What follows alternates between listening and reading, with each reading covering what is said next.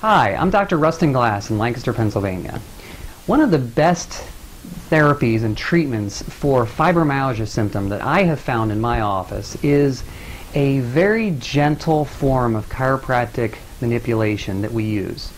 Uh, chiropractic treatment can affect body structures, the joint system, the disc structure of the body, which with fibromyalgia patients can be restricted and tightened up in, as, a, as a result of that condition.